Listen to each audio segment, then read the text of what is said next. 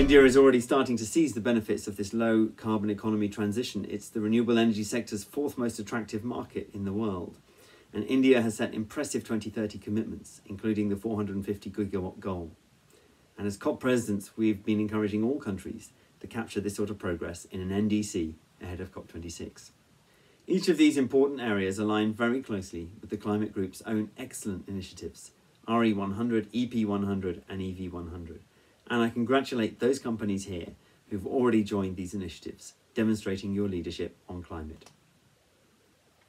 By joining these programs, you will be demonstrating to governments at all levels in India that there is a strong private sector demand for climate action and that you see green as something that is driving growth rather than holding it back.